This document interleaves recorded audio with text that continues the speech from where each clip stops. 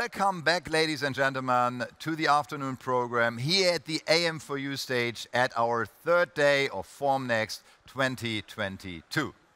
We talked a lot again at this Formnext about market access, innovations, demands for applications in the industry, but also about skill shortages and education.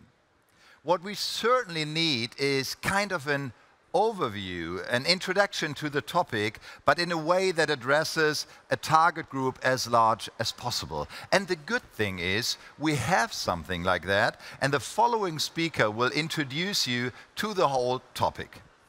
The AM Field Guide is one of my most important publications and provides an excellent introduction and overview of additive manufacturing and its processes. Join me on stage welcoming Professor Dr. Steffen Ritter from Reutlingen University, will, who will tell us all about this fantastic publication. Steffen, it's so good to have you back again. Thank I leave the stage to you. Thank you very much uh, for this very kind introduction, AM Field Guide. Um, I need to tell you a story. Some years ago, uh, the Formnext team, and this was actually the time when the trade show was still kind of not so professional like it looks today. And the team came to me and said, hey, uh, do you have an idea which can contribute to, to the field of AM? Uh, could, could, we do something? And I said, hey, I, I have an initial idea. I, I, sometimes I have no clue what we're talking about. The machines all look the same. Sorry for some of the uh, uh, uh, machine manufacturers here, but hey, these are boxes actually mainly. Yeah, they have a build room for, for the AM build process. Then they have a control unit, and and and uh, actually, it, it's very important to to think about the the method, the building method behind it, and to understand it. There is not this one uh, and only additive manufacturing or, or 3D printing system. There are lots and tons of different variants and, and, and, and uh, um, systems, and that need to be understood. So we, uh, um, I, I, developed those very, very, and I would say reduced to the max graphics, and this is what I would like to introduce to you, and this is actually at the very end what you uh, have also in your hand to give you an, a basic introduction into the thrilling field, and, and I, I hope you, you, you join and, and, and, you, you, you feel the same way that this is a super interesting field we are entering here at this, this trade show at the Formnext. So um, let's step back some years ago, and actually it's, it's many 10 years ago when the real 3 3D printing hype began. I'm doing 3D printing since the early 90s, so it, it, uh, from, from the very early days on, it was called rapid prototyping at that time. Um, and, and, of course, we used 3D printing, 3D Druck, something like that. Um, but, but then for a very long time, it was kind of a very yeah, professional thing, mainly for product development. And in the years 2012, it, it really started booming. Why?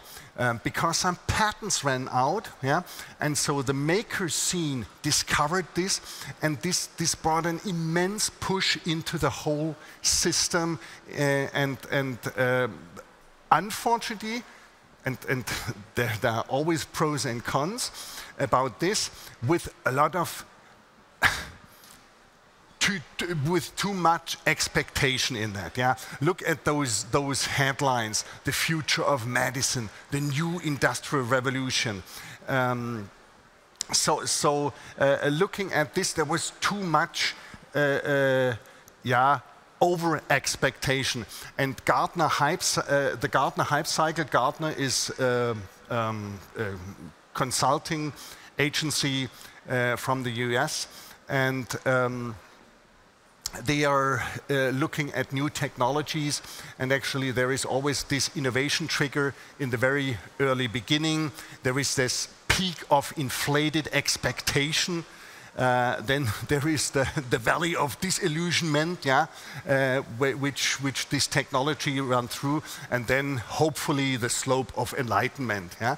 And it works a little bit like this, yeah. And some of these, these things we, we, which uh, popped up in 3D printing, yeah, uh, never made uh, the, uh, its way back uh, uh, all the way to, to the, the peak of uh, productivity. And others, like in dental industry, hundreds of thousands or millions of parts are nowadays produced. Yeah? So you, you really need to understand what are we talking about. Yeah? And um, I, I will definitely warn you, just seeing parts doesn't mean that those parts are fully functional. Sometimes these are, these are just models. Yeah? Uh, do, do they last long enough? I, I see lots of, of turbine blade things, high-tech stuff. Does it really work? Yes, some of them really work, really work, and some others just look like um, turbine blades and are good models for that. So, so be careful looking at examples. Always ask the right question. This is very important when you enter this field. Um, these are the Google search queries um, from the past uh, 10 years and look at this. Uh, it proves that in the year 2012 it became a dramatic uh, um, push um, this scene 3D printing. And since, since then, obviously, it's, it's uh, really uh, uh, established uh, additive manufacturing as kind of the professional expression for um, 3D printing um, it is way lower. So th th there is no clear uh, um, in, in, in, the common sense, there is no clear distinction. Uh, this means this and th that means that. Uh, 3D uh, printing or additive manufacturing, most of the time, they are used in the same manner. Looking at the fields of application, when should I ask for additive manufacturing? What's, what's the, the uh, what should trigger me with respect to should I think about additive manufacturing or not? And I spotted six fields which are, are, are trigger fields for that, that um, um, additive manufacturing is worth thinking about it actually. One of the most important ones, and I named it before, is prototyping. It started out as rapid prototyping, yeah, uh, rapid with respect actually to uh, the old way of, of creating prototypes. So it was way faster at that time. I'm, I'm, an engineer and sometimes it's still too slow and, and we, we always should, should speed it up. And still a lot of applications are running in that field. So approximately 50%, it, depends really on, on, on, in which field you're looking at, but 50% of 3D printing is used, 3D prints are used in the field of, of um, product development, yeah, creating prototypes, the, the creating first functional prototypes in a very fast way, uh, creating prototypes. Here, an example of medical application, so, so medical instruments are, are, are really made for the surgeon, for the surgeon hand, and so uh, they are printed in, in, in uh, non-steel here in, in plastic. Yeah? They can handle, do handling tests, and then they say, okay, yeah, it's, it's okay, and, and then it's, it's produced in a, in a stainless steel way or something like that. Yeah? Then actually one of the more fascinating things is, and, and you see some of those printing uh, methods have the ability to print in real color. On the right side, uh, uh, this model is absolutely stunning, and there is no other method you can create something like that. Yeah? On the left side, so this is for educational purposes, for example. Yeah? On the left side, you see a blood vessel system, and uh, this is a project which was done in uh, Chicago. Um, and uh, coming out of uh, um, computer tomography uh, data, uh, the, the surgeons can, can create something like that. And so they can make their discussions about how do we do the surgery and so on. They can do it with a real model in their hand and try to, to, to optimize, uh, uh, let's say, minimal invasive uh, um, yeah, techniques or something like that. Uh, model making as a special part of, let's say, prototyping, okay? Hey, then of course, the small batch production. And, and, to be honest, yeah, looking at some of the applications here on the trade show, hey, small batches run from, from two to, I don't know, 20,000, 30,000. These are still kind of small batches. If the parts are small, this, this can be super, super, super efficient uh, 3D printing. And hey, nowadays it's, it's, you can do calculations. You can ask the right partners, give me an offer. I need uh, uh, 200 parts in, in very big early beginning of my production. Uh, uh, how much does it cost? You can compare it with other methods. This is state of the art and very well known so far. Yeah. Number four, if it the number, the quantity goes down to a single part, we're talking about individualization. And here, for uh, it, it, it, as an example, it is absolutely fascinating what can be done. And before I said, hey, hey, hey, uh, uh please uh, don't, don't have any over expectations. In dental industry, for example, it was kind of a revolution and it changed a lot, yeah, because here we are talking about customization, yeah. Each of us has different teeth, of course, yeah, and so for for teeth correction uh, methods, this is used in an absolute standard way nowadays. So so everything which need to uh, built in an individual way.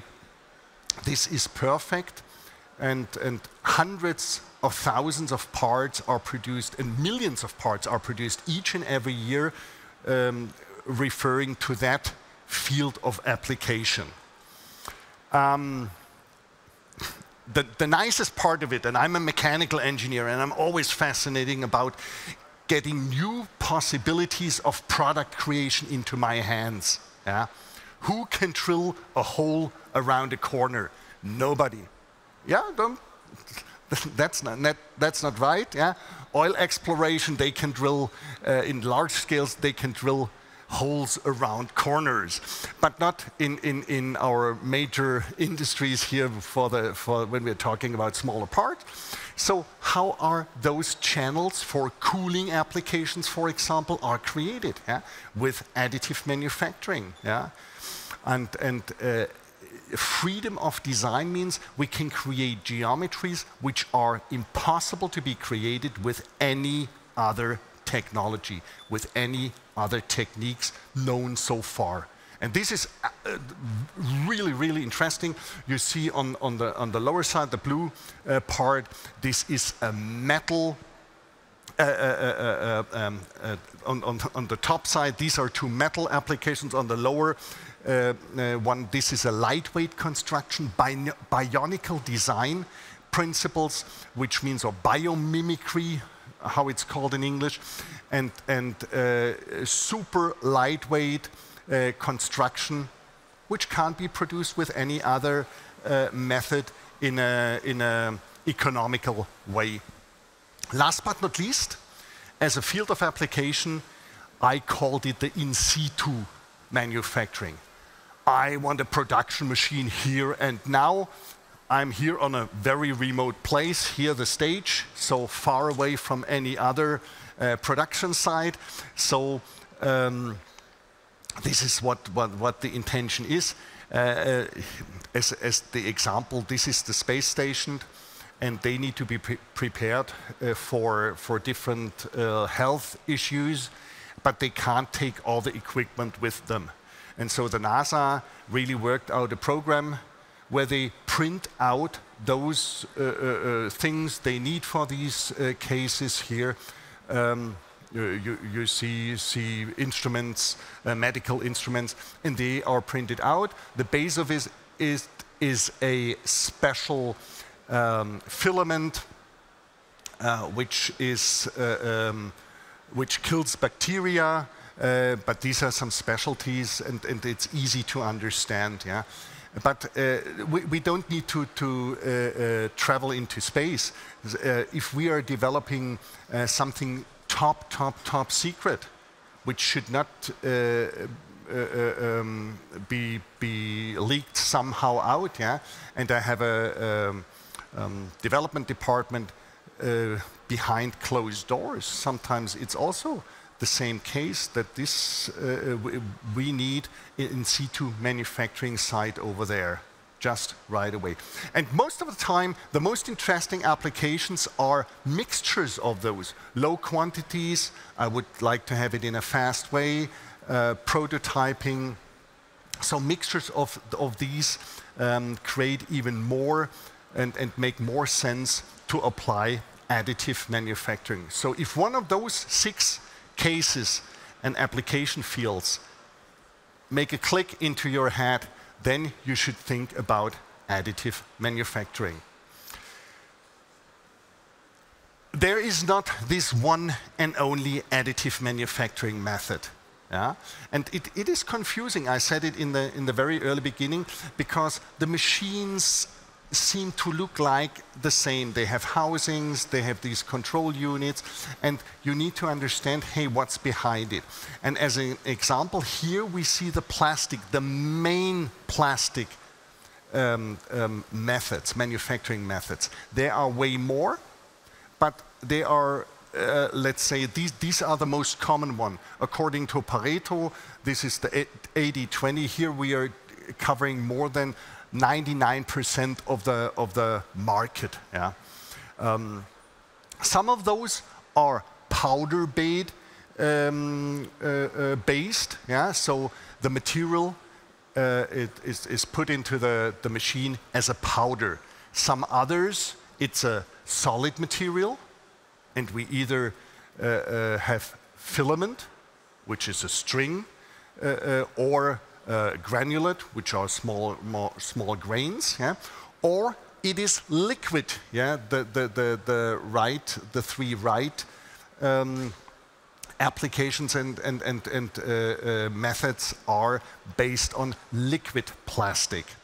Um, some of them are, are able to print in color, like you see here, the multi-jet fusion on the left side, or the material jetting um, on uh, the more right side over there. Um, you saw the example before, uh, this, this uh, semi-transparent uh, figurine of a, of a, human body. This is uh, produced with such a, a material jetting um, machine, actually, process. Yeah?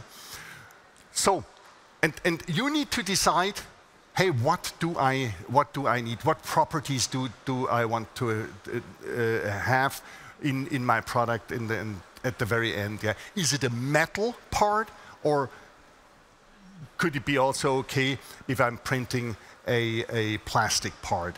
Because, hey, the properties are completely different and, and hey, metal melts at 1,200 degrees, something like this, uh, depending on, on the metal. Plastic melts at start melting at 220 degrees. So there is a big, big difference. And this is also the price difference in the machines. Yeah? Uh, it, it is way more complex to create metal machines. Uh, I don't say it's easy to create good, good, good, plastic machines, don't misunderstand me.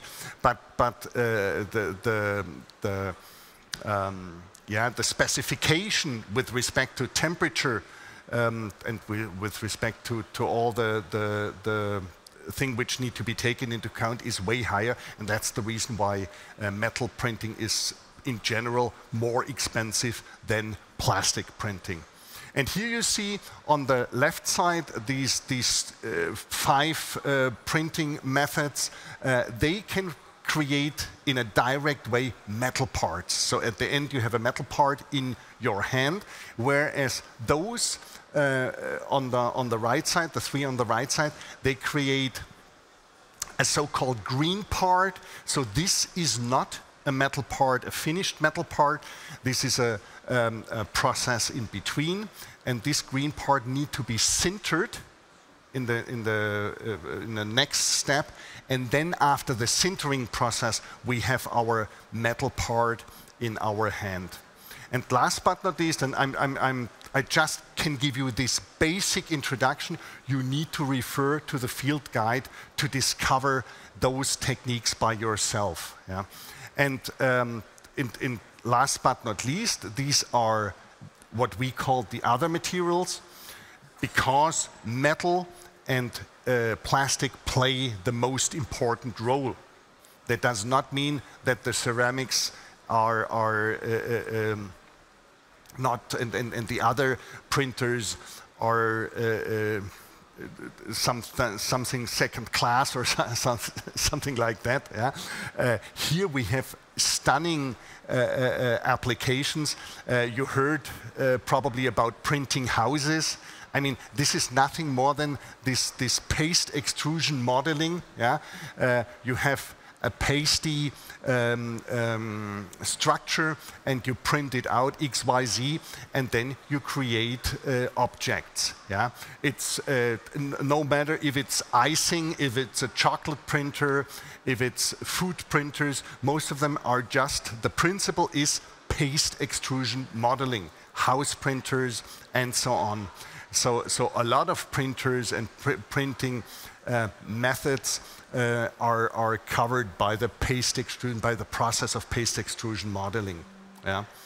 Um, also, uh, binder jetting with sand and gypsum are used to print cores for the casting industry, for example. Very, very successful, very accurate. Nowadays, it's absolutely state-of-the-art production technique. Um, understanding additive manufacturing means that there is not this single 3D printing process uh, or, or, or, this 3D printing machine. And you, you, you throw some, some data in and the object comes out. It's a process. And we have to understand that pre-processing, the, the main AM production phase and post-processing are also very important phases which we need to know. And, and uh, sometimes they are way more complex than the process itself, the 3D printing process itself. And the, the, the mystery uh, uh, about uh, uh controlling this process lays more in the, in the uh, post-processing process than actually in the, in the initial 3D uh, printing process. Let's look at, at what, what those processes mean.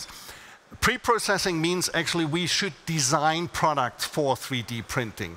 Um, engineers are, are, taught to think the other way around. Most of the time we have bulk material and we grind something out. So it's, it's subtractive thinking.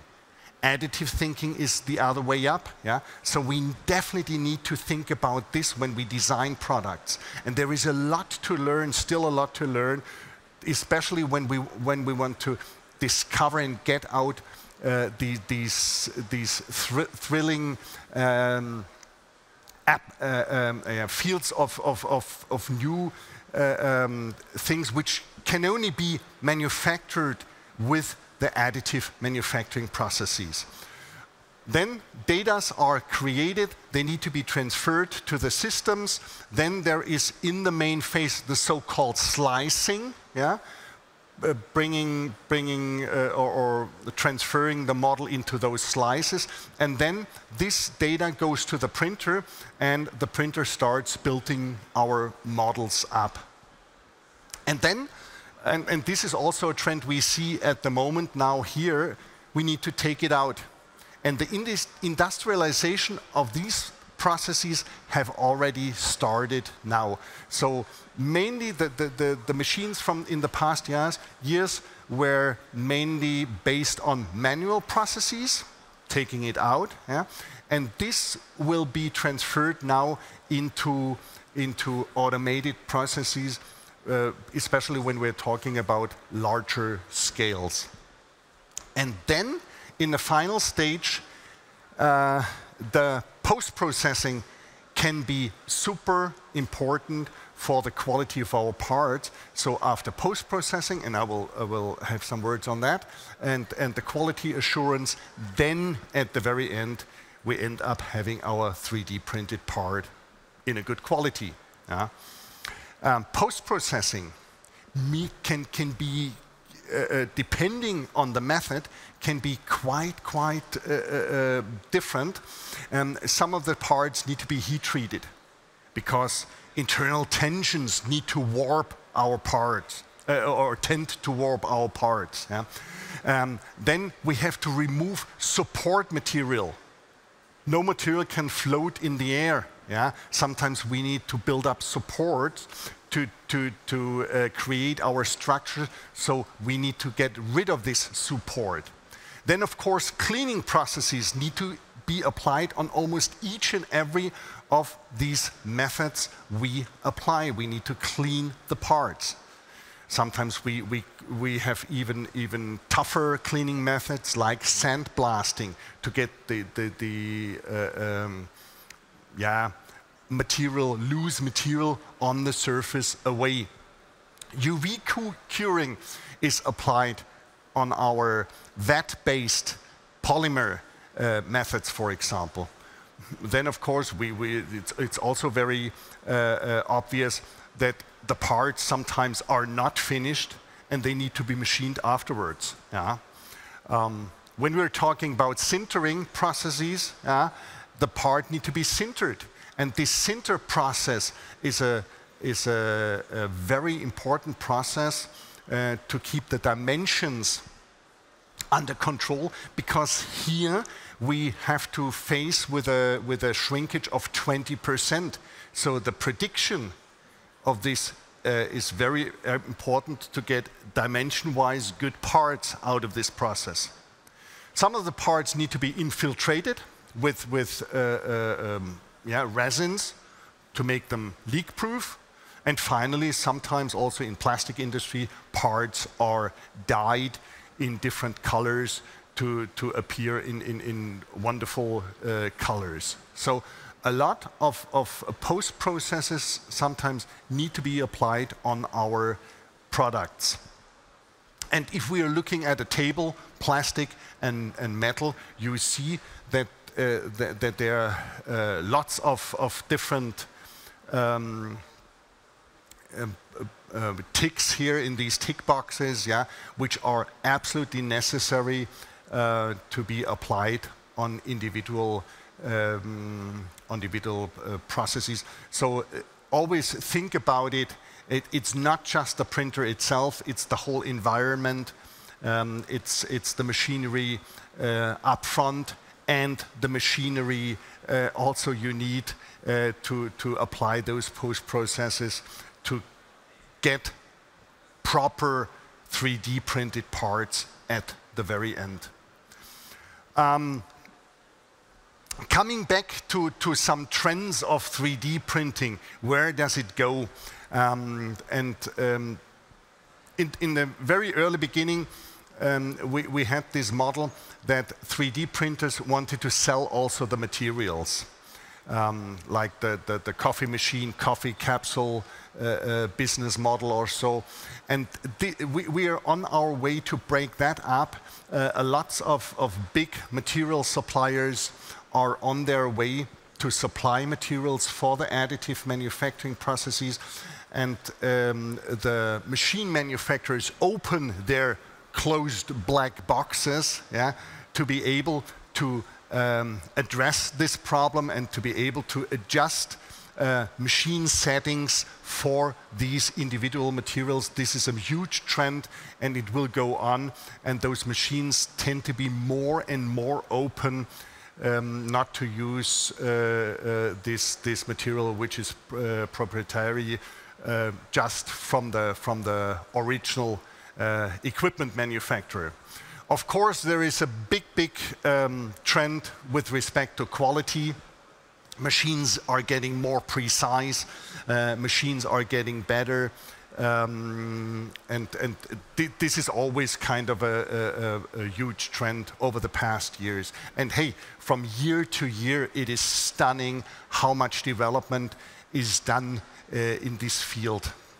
Um, uh, then the process as a whole is also taken into account. So far, it was mainly a manual process. Yeah, parts were taken into the printer, loaded there, then then then. Um, taken out of the, the build uh, platform or taken from the build platform.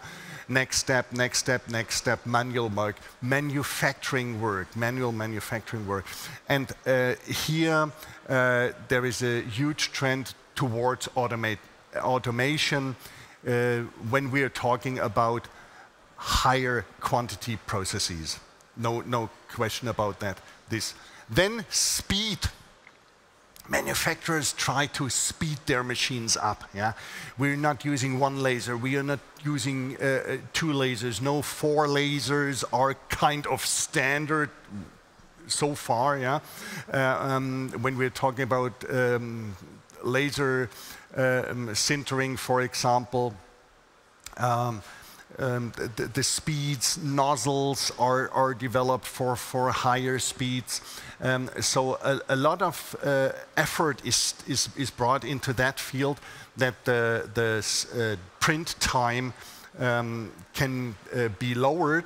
And, and hey, on one side, we want to print in very fine details, and on the other side, we want it right now actually in our hand. Yeah? And, and uh, this is, uh, of course, conflicting targets and uh, manufacturing manufacturers and, and, and uh, the whole industry works on those processes to make it even, even faster. And last but not least, hey, each and every Formnext you see new uh, application methods which, which I haven't introduced to you uh, today, but uh, which is, uh, of course, um, quite obvious glass printing, super exotic materials, uh, but, but uh, you see constant development with new metals, new ma uh, materials, which can be printed with also other methods uh, which I haven't introduced so far. So let me finish this talk um, and, and, and actually put a, put a, a, a big recommendation. Take those field guides with you, study those field guides. Yeah? It is reduced to the max. Um, this field guide is available, of course, here. Uh, we have it in a French, um, French Itali uh, uh, French, English version um, and uh, a Finnish, German version uh, at the trade show here, and the, all the other versions can be downloaded on the Formnext uh, website for educational purposes. It's always free to so use them, spread them, and have fun and success on your discovery tour of the Formnext. And yeah, I just have to say thank you very much for your kind attention. Big applause for Steffen. Steffen. Thank you so much. I mean, you saved my life several times with the AM field guide. As a moderator, I'm highly dependent on an update of this field guide every time I'm here. Thank you so much. Uh, any questions from the audience here? Give you the opportunity to ask a question. If not, I do have a question, yes. Steffen. I mean, um, as I'm a regular visitor at fairs and exhibitions around additive manufacturing, I know that we have so many innovations coming up, so many new technologies. How often are you asked for updates? I, am asked for updates, but I, I always, uh, and we, uh, we do updates each and every year we do updates. Uh, but to be honest, the basics will stay the basics. Mm -hmm. Yeah, and and we are talking about the basics. This is not uh, the latest innovation. It doesn't show the latest innovation. We show the core, uh, which which uh, describe the the different methods. And so so this will remain the same. Some of uh, uh, new techniques will pop up and and and have enough Uh, uh, uh, power to make it into the field guide, let's say. Yeah? And, and, and I don't say I cover the whole AM world as of today. We're covering the major methods as of today. Yeah. Okay. That need to be understood. So final statement from your side, because that would be interesting for me and definitely also for the audience. Where do you see additive manufacturing this year in 2020? Because you're observing it all the time. What do you think is needed to do the next step? I, I mean, this automation yeah, is, is very obvious. And what we see here at the moment, uh, uh, large parts all of a sudden we see those printers creating super uh, large parts. Uh, net shape part, that means uh, uh, uh, they need to be finished somehow with a, with a milling process or, of, or something. Uh, that, is, that is a huge trend. And, and I think, hey, it, it, it, there will be constant development over the next years, no doubt about that. Yeah. Awesome. Was again a pleasure to have you on stage, not only for the great presentation, but also for your work. I highly appreciate that, I can tell you, in a very personal way. So thank you for being our guest, Steffen. Big applause again pleasure. for Steffen. See yeah, you next year. Bye-bye. Thank you. Thank you very much. Yeah. Dr. Steffen. Thank you. So the audience at the screen, the audience uh, in this hall, uh, we will do a short break with our highlights and we will be right back with a, another fantastic expert insight about potential and necessity of corporations in Europe at AMN Manufacturing. So stay tuned, see you in three and a half minutes.